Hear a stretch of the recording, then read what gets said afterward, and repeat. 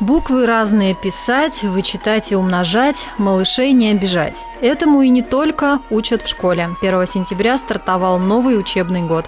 Старт этот всегда торжественный. День знаний – настоящий праздник для учащихся, студентов, педагогов, родителей. Особенность моего присутствия именно в этой школе есть, потому что первый раз в пятую школу идет директор этой школы Марина Валерьевна Комаровских, и я хочу лично ее представить сообществу учеников и родителей этой школы.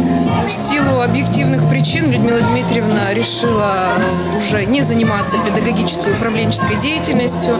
Значит, мы приняли ее это решение. Я очень благодарна Людмиле Дмитриевне за то, что она, во-первых, помогла ну, руководителю э, влиться в эту работу, потому что это всегда волнительно.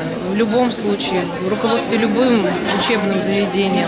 Значит, то был плавный переход, это был летний период, можно было обговорить все вопросы, рассказать о коллективе, о каких-то моментах, каких-то проблемах. Я думаю, что Марина Валерьевна сегодня подкована э, в вопросах жизни школы. Нормально начнется новый учебный год с новым директором. Новый учебный год с новым директором. С таким новшеством входит пятая школа в очередной учебный период. Есть небольшое волнение, потому что любое новое дело всегда вызывает волнение, но есть огромное желание работу эту сделать хорошо. Традиция как руководителя и как человека делать любое дело ответственно с самого начала и до самого конца. Подводить любому начинанию итог – делать выводы и каждую новую работу делать еще более качественно.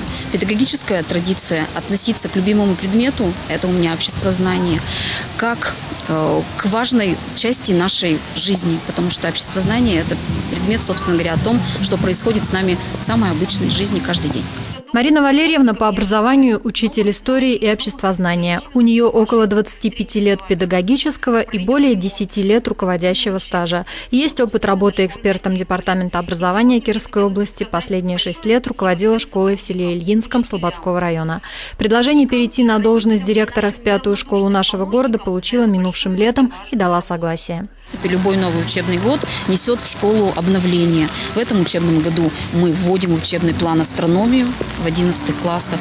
В этом учебном году у нас появляется курс основ черчения в 8 классах. Я желаю э, каждому школьнику в этом учебном году найти себя, найти, может быть, что-то новое, открыть э, в тех людях, которые его окружают, э, в той учебной деятельности, которую он ведет. Педагогам пожелаю, чтобы ученики при встрече с ними искали новых знаний, чтобы было как можно меньше конфликтов у нас в школьной среде, чтобы мы и на работу шли с удовольствием, и с работы выходили с хорошим настроением. Школа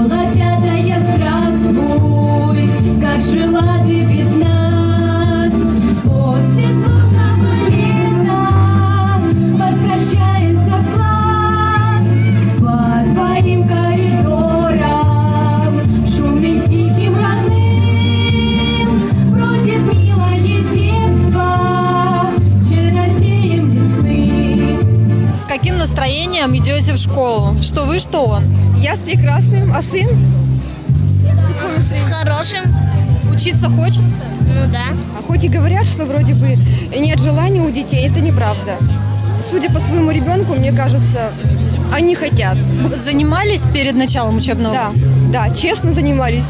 С желанием или все-таки было настойчивое желание мамы? Была фраза «мама», но у меня же отпуск так что вот заставлять приходилось. Надеемся, что все будет хорошо. Дети с каким настроением пришли? Дети радостно идут все. Первый класс. С желанием учиться? С желанием учиться, да. Сами себя помните в их возрасте? Шли тоже весело, радостно. Учились с желанием? Да.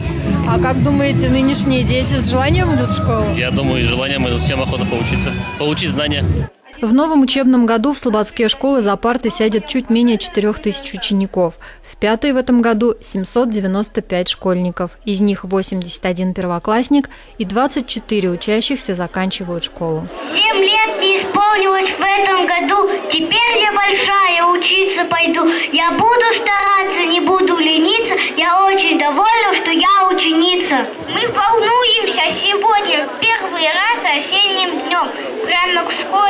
порогу мы с букетами идем. Что ж, смелее в долгий путь, школьный, интересный, а в дороге не забудь дом, друзей и песню.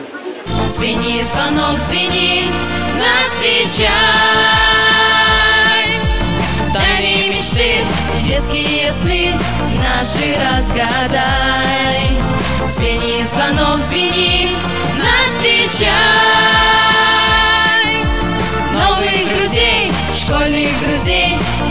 Друзей,